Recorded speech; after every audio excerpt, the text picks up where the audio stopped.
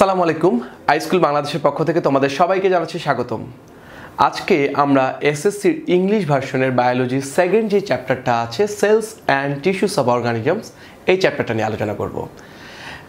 এবং এই চ্যাপ্টারটা যখন আমরা পড়া শুরু করি, অনেকের মধ্যে একটা ভয় থাকে যে, স্যার, এই চ্যাপ্টারটা এত বড় কেন?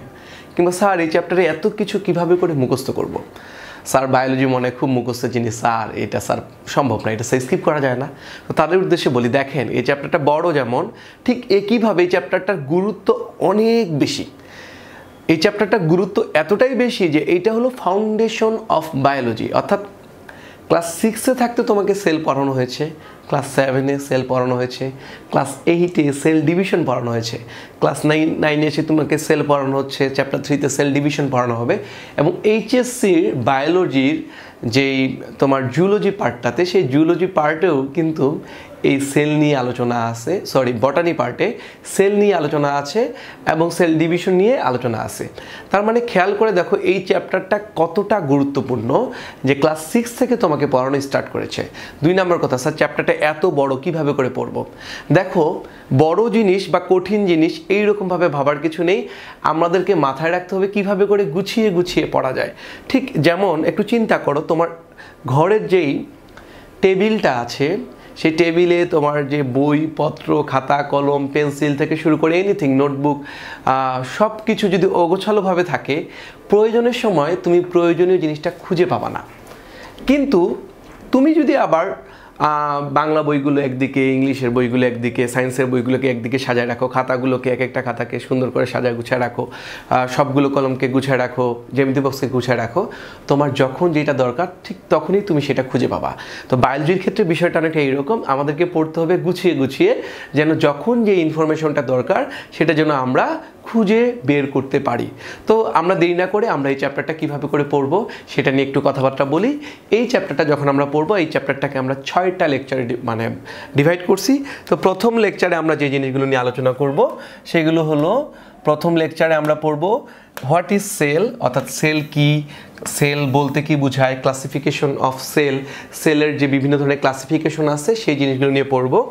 তারপর আমরা পড়ব বিভিন্ন ধরনের সেলুলার অর্গানেলস দেন আমরা সেলুলার অর্গানেলসের মধ্যে সেল ওয়াল নিয়ে আলোচনা করব প্রোটোপ্লাজম নিয়ে আলোচনা করব এবং প্লাজমা লেমা নিয়ে আলোচনা করব ওকে তো খেয়াল করে দেখো আমরা আমাদের আলোচনাতে চলে যাই। আমরা খেয়াল করে দেখি, প্রথমে আমাদেরকে জানতে হবে সেলটা কি। Cell is the basic structural and functional unit of life এটা আমরা ক্লাস সিক্সে পড়ছি ক্লাস সেভেনেও পড়ছি। তো খেয়াল করে দেখো যে যেহেতু এখন আমরা ক্লাস নাইনে উঠেছি, একটু আমাদেরকে আগের ডেফিনেশনটা ওকে বাট এখন আমাদেরকে একটা নতুন ডেফিনেশন বই দিয়েছে, সেই ডেফিনেশনটা জানতে হবে। সেই ডেফিনেশনটা কি এবং সেই ডেফিনেশনটা কে দিয়েছে? সেই ডেফিনেশনটা দিয়েছে লোই অ্যান্ড সিকিভিচ কবে তারা এই ডেফিনেশনটা দিয়েছে? তারা এই ডেফিনেশনটা দিয়েছে নাইনটিন সিক্সটি নাইনে এই ডেফিনেশনটা দিয়েছে। সেই ডেফিনেশনে তারা বলছে cells are surrounded by semi permeable membrane. অর্থাৎ তারা বলছে, cells are surrounded by semi permeable membrane. তার মানে সেল সেমি পারমিয়াবল মেমব্রেন দ্বারা সারাউন্ডেড থাকে। এখন কথা হলো, স্যার সেমি পারমিয়াবল মেমব্রেন মানে কি? সেমি পারমিয়াবল মেমব্রেন মানে এমন একটা মেমব্রেন যেই মেমব্রেনের ভেতর দিয়ে সলভেন্ট পাস করতে পারবে, কিন্তু সলিউট পাস করতে পারে না।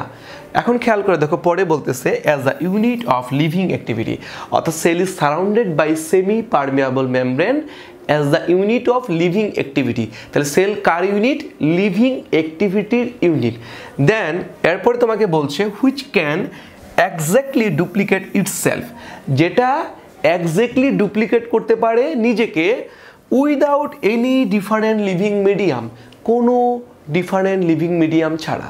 লিভিং মিডিয়াম মানে কি? দেখো লিভিং মিডিয়াম মানে যে কোনো লিভিং এক্সিস্টেন্স এখন সেলের ক্ষেত্রে লিভিং এক্সিস্টেন্স ছাড়াও আরেকটা সেল তৈরি হওয়া সম্ভব। তাই, খেয়াল করে দেখো ব্যাকটেরিয়া কিংবা কিছু এলজি তাদেরকে নিউট্রিটিভ সলিউশন নামে একটা সলিউশন পাওয়া যায়। তো যারা মাইক্রোবায়োলজিস্ট তারা তাদের ল্যাবে এই সলিউশনগুলো ইউজ করে।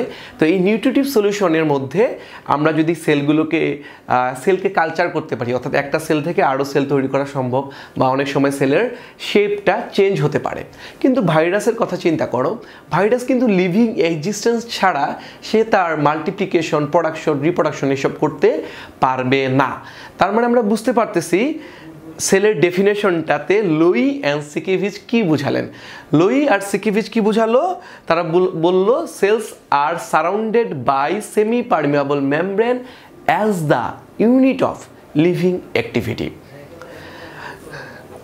Which can exactly duplicate itself without any different living medium okay তো আশা করি আমরা সেলের যে ডেফিনেশনটা লুই এবং সিকিভিস দিয়েছে, সেটা খুব ভালোভাবে বুঝতে পেরেছি। এবার আমরা খেয়াল করব, আমরা একটু পরের স্লাইডে চলে যাই। খেয়াল করে দেখো যে আমরা সেল কি, সেটা পড়ে ফেললাম। এবার আমরা সেলের ক্লাসিফিকেশন পড়ব। কি পড়ব? সেলের ক্লাসিফিকেশন। দেখো, সেলকে আমরা বিভিন্নভাবে ভাগ করতে পারি। কী কীভাবে ভাগ করা যায়, স্যার? খেয়াল করে দেখো, সেলকে আমরা যেই মানে বিভিন্নভাবে ক্লাসিফাই করছি on the basis of organelles that means একটা সেলে কি কি অর্গানেলস থাকে কিংবা না থাকে, এইটার উপর বেস করে সেলকে আমরা দুইটা পার্টে ডিভাইড করতে পারি। কয়টা পার্টে দুইটা পার্টে একটা হলো প্লান্ট সেল আর একটা হলো অ্যানিম্যাল সেল প্লান্ট সেল আর অ্যানিম্যাল সেলকে ডিভাইড করছে কি? On the basis of organelles okay এখন প্লান্ট সেল এবং অ্যানিম্যাল সেল নিয়ে একটু পরে আমরা ডিটেলস জানব। কেন? কারণ একটু পরেই আমরা সেলুলার অর্গানেলস সম্পর্কে জেনে ফেলব। এখন আমরা আরেকটাভাবে ক্লাসিফাইটা দেখি। On the basis of organization of nucleus অর্থাৎ নিউক্লিয়াসের অর্গানাইজেশনের উপর বেস করে সেলকে আমরা দুইটা পার্টে ডিভাইড করতে পারি। একটার নাম প্রোকেরিওটিক সেল আরেকটার নাম ইউকেরিওটিক সেল একটার নাম কি? প্রোকেরিওটিক সেল আরেকটার নাম ইউক্যারিওটিক সেল। তো খেয়াল করে দেখো আমরা প্রোক্যারিওটিক সেল এবং ইউক্যারিওটিক সেল সম্পর্কে এখন আমরা একটু ডিটেলস জেনে ফেলব। খেয়াল করে দেখো, প্রোক্যারিওটিক সেল কি, ইউক্যারিওটিক সেল কি, এটা একটু আমরা বোঝার চেষ্টা করি। আমরা একটু খেয়াল করে দেখি যে প্রোক্যারিওটিক সেল, প্রো মানে কি, আগের কেরিওটিক কেরিওটিকের টার্মটা আসে বেসিক্যালি কেরিয়ন শব্দটা থেকে। কেরিয়ন শব্দটার মানে হলো নিউক্লিয়াস। কেরিয়ন শব্দের মানে কি? কেরিয়ন শব্দের মানে হলো নিউক্লিয়াস। তো খেয়াল করে দেখো এটার নিউক্লিয়াসটা প্রো মানে আগের। আগের নিউক্লিয়াসগুলো কেমন ছিল? অর্থাৎ যেগুলো লোয়ার ক্লাসের অর্গানিজম তাদের নিউক্লিয়াসগুলো ছিল ওয়েল ডেভেলপ না। আর প্রোকেরিও ইউকেরিওটিকের ক্ষেত্রে নিউক্লিয়াসগুলো ওয়েল ডেভেলপ থাকে। তো একটু খেয়াল করে দেখো আমরা, আসলে ট্রু নিউক্লিয়াস প্রোকেরিওটিকের ক্ষেত্রে অ্যাবসেন্ট প্রোক্যারিওটিকের ক্ষেত্রে স্যার ট্রু নিউক্লিয়াস থাকে না। কিন্তু ইউক্যারিওটিকের ক্ষেত্রে ট্রু নিউক্লিয়াস প্রেজেন্ট। ইউক্যারিওটিকের ক্ষেত্রে কি থাকবে, স্যার? ট্রু নিউক্লিয়াস থাকবে। এখন খেয়াল করে দেখো, স্যার, কিসের উপর বেস করে আপনি বলেন কে ট্রু নিউক্লিয়াস হবে কিংবা কে ট্রু নিউক্লিয়াস হবে না? ট্রু নিউক্লিয়াস হওয়ার শর্তটা আসলে কি? দেখো, আমরা খেয়াল করে দেখো, আমরা যদি একটা নিউক্লিয়াসের ফিগার ড্র করি, তো সেই নিউক্লিয়াসের ফিগারের চারপাশে কি থাকে, স্যার? মেমব্রেন থাকে। কি থাকে? মেমব্রেন থাকে। এই যে নিউক্লিয়াসের চারপাশে, এগুলোকে মনে করো নিউক্লিয়ার মেমব্রেন। মনে করো এই যে এটা, এগুলো কি? এগুলো হলো নিউক্লিয়ার মেমব্রেন। এখন এই নিউক্লিয়ার মেমব্রেনটা যদি কারও না থাকে, তাহলে সে ট্রু নিউক্লিয়াস হবে না। আর যদি নিউক্লিয়ার মেমব্রেনটা থাকে, তাহলে সে কি হবে? তাহলে সে ট্রু নিউক্লিয়াস হবে। ওকে তো খেয়াল করে দেখো।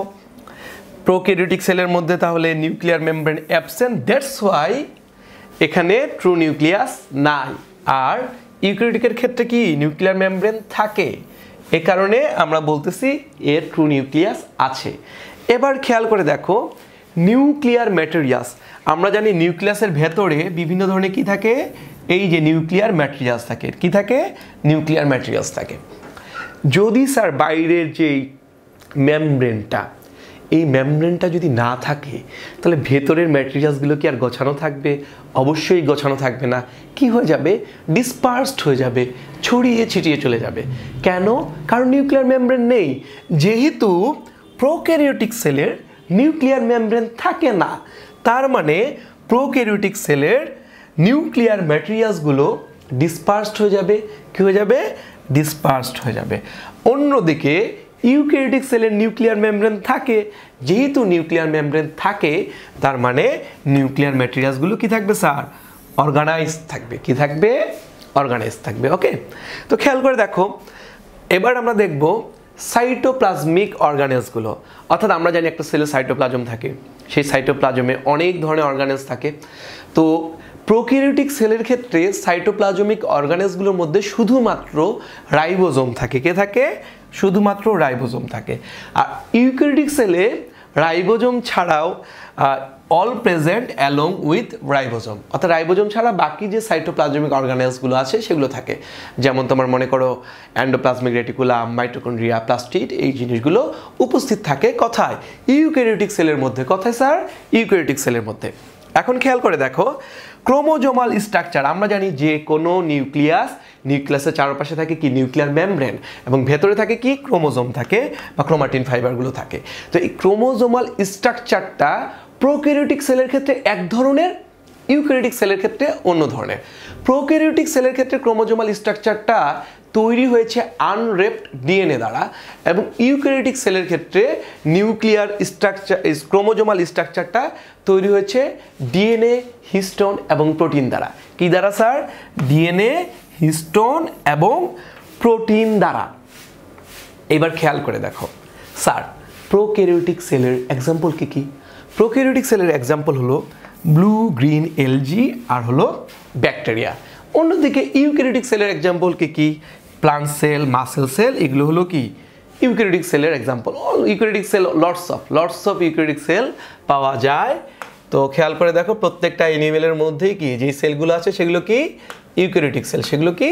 ইউক্যারিওটিক সেল ওকে তো খেয়াল করে দেখো, আমরা যখন সেলের ক্লাসিফিকেশন পড়লাম, তখন আমরা বললাম on the basis of organelles cells are two types one is plant cell and another is animal cell তারপরে আমরা পড়লাম on the basis of organization of nucleus cells are two types one is prokaryotic cell and another is eukaryotic cell এখন আমরা prokaryotic এবং eukaryotic sell কী রকম? তার ডিফারেন্সের মাধ্যমে basically prokaryotic এবং ইউক্যারিওটিক সেলটা বুঝে ফেলেছি। তো তোমরা যখন তোমাদের টেক্সট বুকটা একটু পড়বে, দেখবে যে এই কথাগুলোই তোমাদের টেক্সট বুকে লেখা আছে। তো আমরা একটু খেয়াল করে দেখি। এই ইউক্যারিওটিক সেলটাকে আবার স্যার দুই পার্টে ডিভাইড করা যায়। Eukaryotic সেলকে on the basis of function আবার বলছি, খেয়াল করে দেখো on the basis of function eukaryotic cells are two types one is somatic cell and another is reproductive cell or gametic cell তার মানে খেয়াল করে দেখো নিউক্লিয়াসের উপর বেস করে আমরা বলছি স্যার সেল দুই ধরনের। একটি প্রোকেরিওটিক আরেকটি হলো ইউকেরিওটিক এখন বলছি, স্যার, জানেন, ইউক্যারিওটিক সেলকে আমরা আবার দুইটা পার্টি ডিভাইড করতে পারি। কিসের উপর বেস করে? On the basis of function. One is somatic cell, and another is gametic or reproductive cell. তো খেয়াল করে দেখো এবার আমরা সোমাটিক সেল কি সেটা নিয়ে পড়ব এবং গ্যামেটিক সেলগুলো কি সেটা নিয়ে পড়ব, তাদের ফাংশনগুলো পড়ব। তো এটা একটু আমি ডিফারেন্স করে লিখে রেখেছি। বেসিক্যালি আমার ভাষাগুলোর সাথে টেক্সট বুকের ভাষার খুব বেশি তুমি অমিল পাবে না। তো যারা খুব ভালোভাবে এই জিনিসগুলোকে রিকল করবে, দেখবে যে টেক্সট বুকটা তাদের কাছে খুব ইজি হয়ে যাবে। তো খেয়াল করে দেখো সোমাটিক সেল মানে কি? সোমাটিক সেল মানেই হলো যেই সেলগুলো তোমাদের বডি তৈরি করেছে, আমাদের বডি তৈরি করেছে যে কোনো অ্যানিমেলের বডি তৈরি করে বা প্লান্টের বডি তৈরি করে। তারপরে somatic cell are responsible for the formation of body খেয়াল করে দেখো the somatic cell take part in the composition of body এখন খেয়াল করে দেখো গ্যামেটিক সেল কি করবে স্যার গ্যামেটিক সেল রিপ্রোডাকশনে কাজ করবে। গ্যামেটিক সেলের কাজই কি? রিপ্রোডাকশন করা। গ্যামেটিক সেলের কাজই হলো রিপ্রোডাকশন করা। খেয়াল করে দেখো সোমাটিক সেলের সেল ডিভিশনটা একভাবে হয় গ্যামেটিক সেলের সেল ডিভিশনটা অন্যভাবে হয়। সোমাটিক সেলের সেল ডিভিশনটার ক্ষেত্রে আমরা খেয়াল করে দেখব যে বাইনারি ফিউশন অথবা মাইটোসিস সেল ডিভিশনের মাধ্যমে তোমার সেল ডিভিশন হবে, অর্থাৎ একটা থেকে দুটা দুটা থেকে চারটা, এই সেল যে ডিভিশনটা হয় সোমাটিক সেলের ক্ষেত্রে, অর্থাৎ আমাদের বডির যে সেলগুলো আছে, সেই বডি সেলগুলো মাইটোসিস সেল ডিভিশনের মাধ্যমে ডিভাইড হয়। তিন নাম, এই অন্যদিকে গ্যামেটিক সেলগুলোতে সেল ডিভিশন হবে মিওসিস এর মাধ্যমে। কিসের মাধ্যমে? মিওসিসের মাধ্যমে। ওকে খেয়াল করে দেখো। সোমাটিক সেলের প্রত্যেকটা সেল থাকবে ডিপ্লয়েড ডিপ্লয়েড মানে কি, স্যার? ডিপ্লয়েড মানে হলো টু সেট অফ ক্রোমোজোম আমাদের যে সেলগুলো আছে, প্রত্যেকটা সেলে এই আমার, এই স্কিনের এখানে যদি আমি অনেক মানে সেলগুলোকে স্লটার আউট করি, একটা সেল আলাদা করে নিই, সেই একটা সেলের ভেতরে আমি ফোরটি সিক্স নাম্বার কী পাবো? ক্রোমোজোম পাবো। তো ফোরটি সিক্স নাম্বার ক্রোমোজোমকে আমরা বলতে পারি টোয়েন্টি থ্রি পেয়ার ক্রোমোজোম। কারণ আমরা অর্ধেক পাই মায়ের কাছে, অর্ধেক পাই বাবার কাছে ক্রোমোজোমগুলো। তো আমরা এই টোয়েন্টি থ্রি পেয়ার ক্রোমোজোম। তো টোয়েন্টি থ্রি পেয়ার ক্রোমোজোম আমরা কি পাই?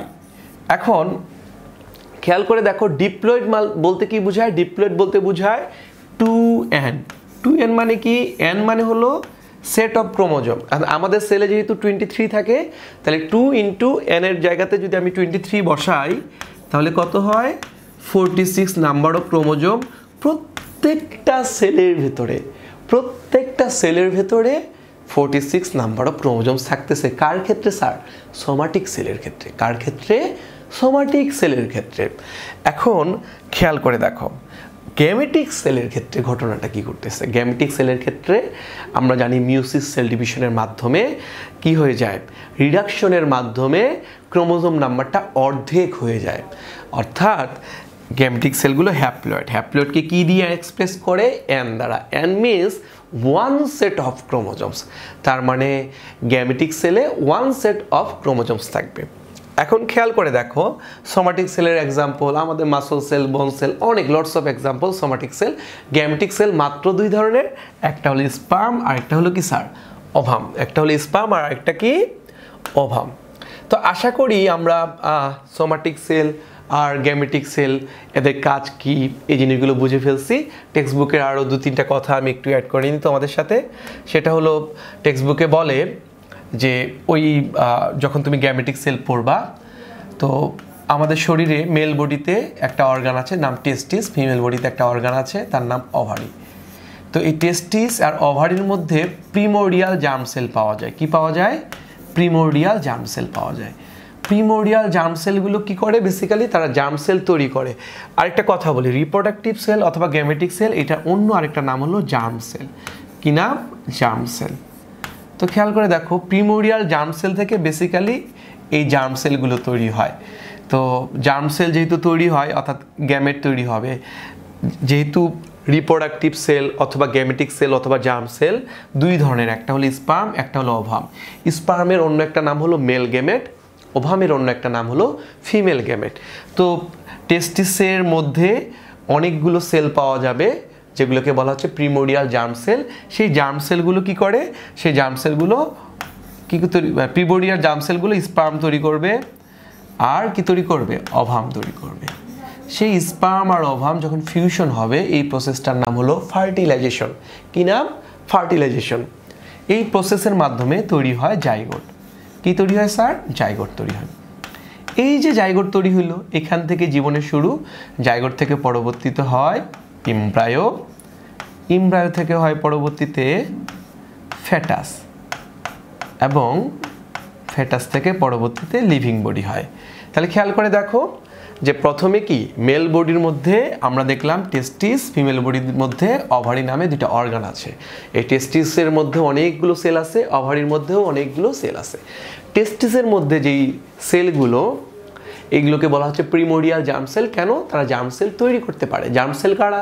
Sperm in case of male in case of female that is ovum তো এই স্পার্ম অ্যান্ড অভাম যখন fuse together then they produce zygote from the zygote embryo is produced এখন খেয়াল করে দেখো embryo মানে কি স্যার ইমব্রায়ো মানে হলো এমন একটা স্ট্রাকচার যেই স্ট্রাকচারে হাত, পা, চোখ, মুখ অর্থাৎ বডির যে অর্গানগুলো আছে, সেই অর্গানগুলো ভিজিবল হয় না, সেই অর্গানগুলো পারফেক্টলি তৈরি হয় না, সেই রকম স্ট্রাকচারটাকে বলা হচ্ছে ইমব্রায়ো আমরা যখন মায়ের পেটে ছিলাম, তো এমন একটা সময় ছিল, আমরা একটা মাংস পিণ্ডের মতো ছিলাম, সেই সময় আমাদের শরীরের আকার, আকৃতি বা শেপ স্ট্রাকচারগুলো ক্লিন অ্যান্ড ক্লিয়ার ছিল না ভিজিবল ছিল না। সেই ধরনের স্ট্রাকচারটাকে বলা হয় ইমব্রায়ো আর ফেটাসটা হলো এমন একটা স্ট্রাকচার যে জায়গাতে এই অর্গানগুলো তৈরি হয়েছে। এবং ফেটাস থেকেই পরবর্তীতে কি? পৃথিবীতে লিভিং বডি হিসেবে আমরা আবির্ভূত হই। এখন খেয়াল করে দেখো যে আশা করি আমরা সোমাটিক সেল এবং গ্যামেটিক সেল ক্লিয়ার করে বুঝতে পেরেছি। এখন আমরা একটু সেলুলার অর্গানেলসগুলো সম্পর্কে জানব। কি জানব? সেলুলার অর্গানেলসগুলো সম্পর্কে জানব। খেয়াল করে দেখো, যে কোনো সেল, আমরা যদি সেলগুলোকে চিন্তা করি, একটা সেল, প্রত্যেকটা সেলের দুইটা পার্ট প্রথমে আমরা দুইটা পার্ট চিন্তা করব। একটা হলো লিভিং একটা হলো নন লিভিং একটা লিভিং একটা কি? নন লিভিং লিভিং পার্ট আর নন লিভিং পার্ট একটু খেয়াল করে দেখো। সেলকে যদি আমি ডিভাইড করি অর্গানিজগুলোকে তো দেখো সেল ওয়াল আর হলো কি? প্রোটোপ্লাজম। একটু এখানে ভুল হয়ে গেছে। আচ্ছা আমরা একটু খেয়াল করে দেখি।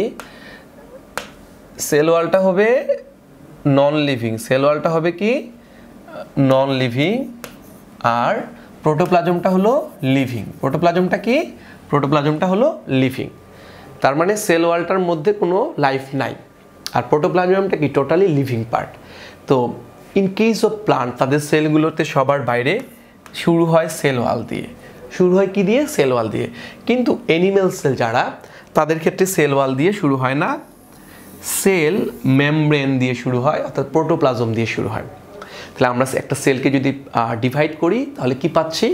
একটা লিভিং পার্ট আর একটা নন লিভিং পার্ট যেই পার্টটা লিভিং তাকে বলছি প্রোটোপ্লাজম আর যেই পার্টটা লিভিং না, সেই পার্টটাকে আমরা বলছি সেল ওয়াল। সেল ওয়াল তাহলে কি? নন লিভিং সেল ওয়াল কি? নন লিভিং এখন খেয়াল করে দেখো, প্রোটোপ্লাজমকে তিনটা পার্টে ডিভাইড করা যায়। কয়টা পার্টে? তিনটা পার্টে। একটা পার্টের নাম সেল মেমব্রেন, একটা পার্টের নাম সাইটোপ্লাজম আরেকটা পার্টের নাম নিউক্লিয়াস।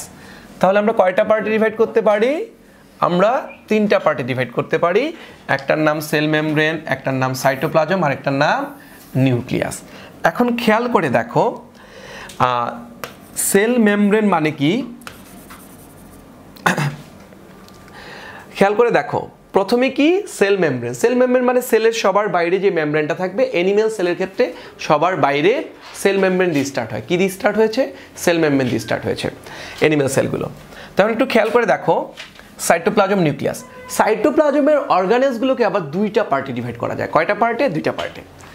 একটা পার্টে মেমব্রেনাস একটা পার্টে নন মেমব্রেনাস মেমব্রেনাস মেমব্রেন মানে বাইরের যে কাভারিং মেমব্রেন মানে কাভারিং পর্দা।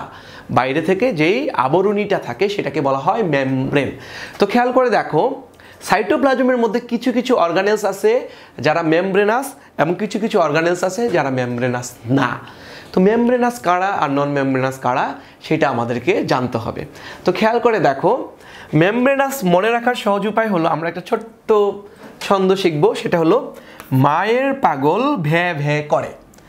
মা থেকে মাইটোকন্ড্রিয়া, এর থেকে অ্যান্ডোপ্লাজমিক রেটিকুলাম, পা থেকে প্লাস্টিড, গ থেকে গোলজি বডি ল থেকে লাইসোজম, ভে থেকে ভেকুয়াল আরেকটা ভে থেকে ভেসিকল, আর করে থেকে কিছুই না। তো আশা করি আমরা এই মায়ের পাগল ভে ভে করে, এটার মাধ্যমে সাইটোপ্লাজমের যেই মেমব্রেনাস অর্গানেলসগুলো আছে, সেই অর্গানেলসগুলো আমরা বুঝে ফেলতে পারব, মাথায় রেখে দিতে পারব। এখন খেয়াল করে দেখো নন মেমব্রেনাস অর্গানেলস তার মানে তাদের মেমব্রেন নাই। তো নন মেমব্রেনাস অর্গানেলস কারা কারা? এইটাও মনে রাখব। আরেকটা ছোট্ট ছন্দ দিয়ে, সেটা হলো সাইটো মামাই সেরা। সাইটো থেকে সাইটোস্কেলিটন মা থেকে মাইক্রোটিউবুস আরেকটা মা থেকে মাইক্রোফিলামেন্ট আর রস্য ই থেকে ইন্টারমিডিয়েট ফিলামেন্ট সাইটো মামাই সেরা, সে থেকে সেন্ট্রোজম রা থেকে ribosome basically microtubules microfilament intermediate filament is the part of cytoskeleton এটা সাইটোস্কেলিটনের অংশ, তো এগুলো নিয়ে আমরা সামনে ডিটেলস জানব। একটা জিনিস এখন বোঝার চেষ্টা করো। এই যে আমরা সেলুলার অর্গানেলস সম্পর্কে জানছি। এই সেলুলার অর্গানেলস, এটাই হলো তোমাদের প্রথম যে অংশটা আছে এই চ্যাপ্টারের। এই চ্যাপ্টারটার নাম যেহেতু কি, cells and tissues of organisms. তো প্রথমে সেল, পরে শেখাবে তোমাকে টিস্যু। তো সেলের বেসিক সিলেবাস হলো এটা। তোমাকে প্রথমে এই চারটা মাথায় রাখতে হবে আসলে এই চ্যাপ্টার আমাকে কি কি শেখাচ্ছে। তারপরে তোমার প্রত্যেকটা ডিটেল জানতে হবে। অর্থাৎ তোমাকে চিন্তা করতে হবে সেল ওয়াল সম্পর্কে কি তোমার মাথায় এটাকে চিন্তা করতে হবে প্রোটোপ্লাজম কীরকম হয়, না হয়। তো এই অংশটার যদি কারও মাথায় না থাকে, অর্থাৎ সিলেবাসটা কি, এটা যদি মাথায় না থাকে, পরবর্তী অংশগুলো মনে রাখা বা গুছিয়ে গুছিয়ে মাথায় রাখাটা খুব ডিফিকাল্ট হবে। তো সবাইকে আমি বলব, এই অংশটা মাথার মধ্যে খুব ভালোভাবে গেঁথে ফেলতে হবে। এটা this is the syllabus then we have to know more details আমাদেরকে প্রত্যেকটা ডিটেলস জানতে হবে। তো খেয়াল করে দেখো, তাহলে আমরা একটু পরের পার্টে চলে যাই। আমরা খেয়াল করে দেখো যে যেহেতু আমি অর্গানেলসগুলো সম্পর্কে জেনেছি, প্রথমে আমি তোমাদেরকে বলেছিলাম অর্গানেলসের উপর বেস করে সেলকে দুইটা পার্টে ডিভাইড করা যায়, একটা প্লান্ট সেল আর একটা কি? Animal cell. কিন্তু তখন কিন্তু আমি এই প্লান্ট সেল আর অ্যানিমেল সেল নিয়ে ডিটেলস কিছু বলিনি।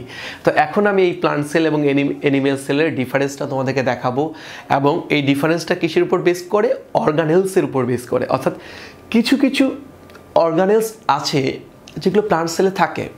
আর কিছু কিছু অর্গানেলস আছে যেগুলো প্লান্ট সেলে থাকে না।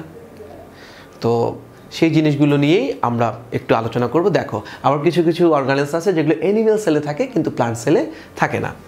তো আমরা একটু খেয়াল করে দেখি বিষয়গুলো। খেয়াল করে দেখো, যে প্লান্ট সেলের ক্ষেত্রে আমরা প্রথমেই পড়েছিলাম যে সেল ওয়াল সেল ওয়াল কার specific features cell wall plant সেলের থাকে। অ্যানিমেল সেলের সেল ওয়াল থাকে না।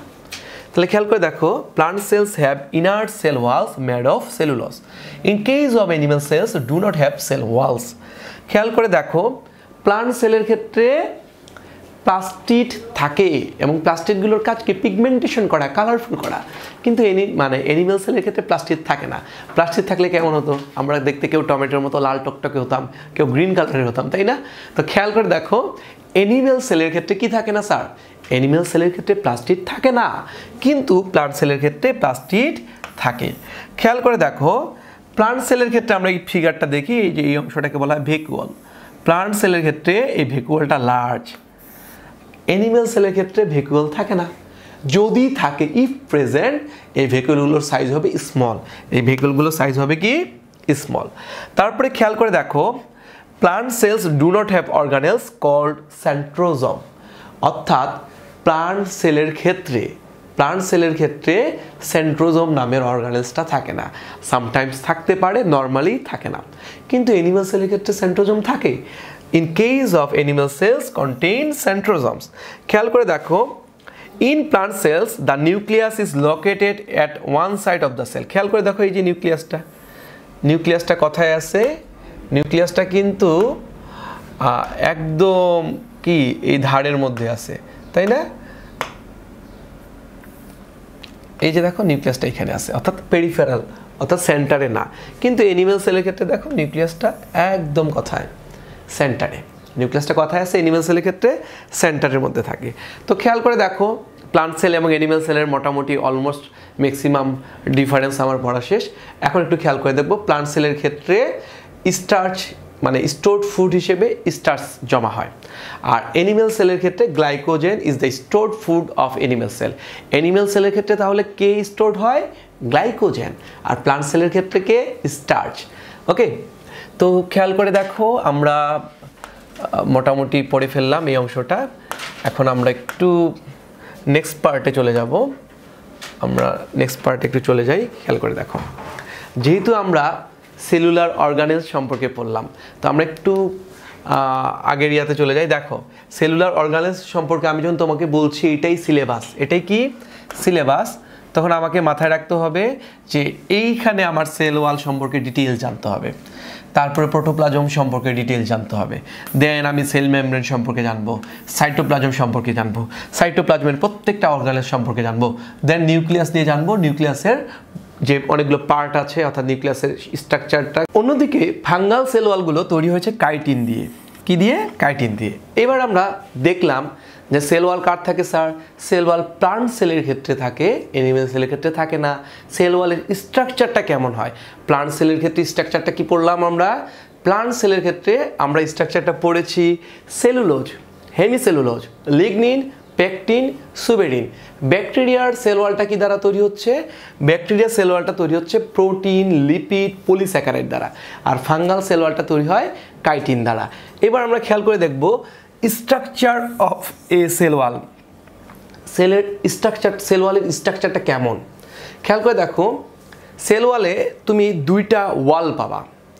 ওকে, একটার নাম হলো প্রাইমারি ওয়াল, একটার নাম সেকেন্ডারি ওয়াল। একটার নাম প্রাইমারি আর একটার নাম তোমার সেকেন্ডারি ওয়াল খেয়াল করে দেখো প্রাইমারি ওয়ালটা আমরা যদি একটা এখানে ডন্য ছবি কতটা ক্লিয়ার আমি একটা ছবি আঁকি।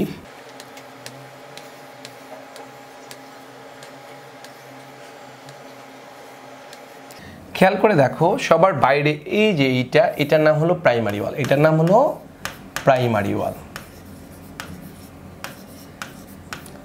এখন এই প্রাইমারি ওয়ালের ভেতরে ঠিক এই জায়গাটা থেকে শুরু হয় তোমার সেকেন্ডারি ওয়াল এবং এই সেকেন্ডারি ওয়ালে তিনটা লেয়ার একটা আউটার এটা হলো আউটার এটা হলো আউটার আর এই যে এটা, এখানে ফাঁকা জায়গাটা, এটা মিডল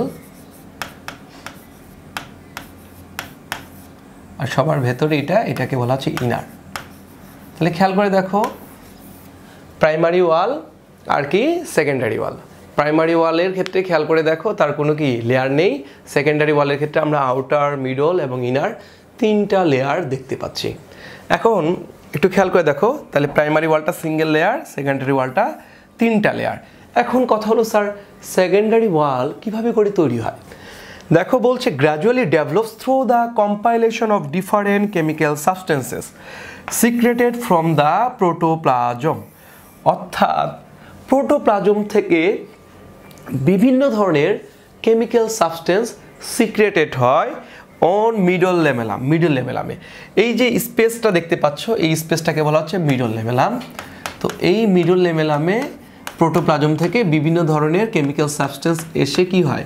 কম্পাইলেশন হয় এবং পরবর্তীতে এই কেমিক্যাল সাবস্টেন্সগুলোই তৈরি করছে কি? সেকেন্ডারি ওয়াল কি তৈরি করছে সেকেন্ডারি ওয়াল যখন এই সেকেন্ডারি ওয়াল তৈরি হবে তখন সেখানে অনেকগুলো ক্যাভিটিস বা পোর্স ক্রিয়েশন হবে।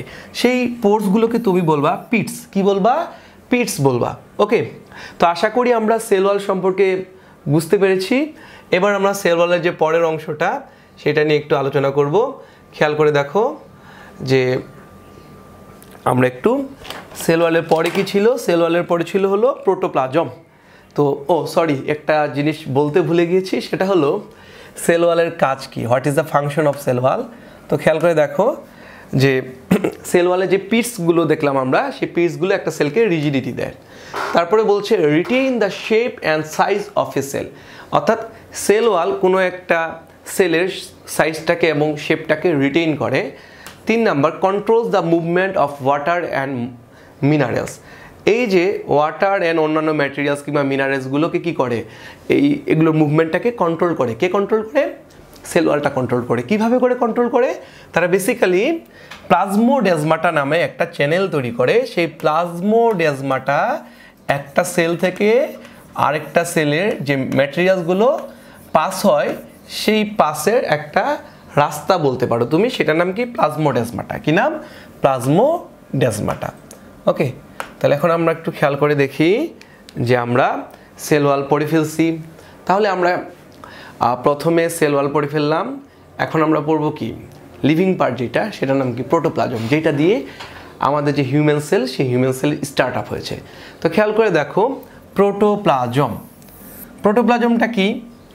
Every parts surrounded by cell is called protoplasm that means সেলের চারপাশে যে মেমব্রেনটা থাকে, সেটার নামই হলো কি? প্রোটোপ্লাজম।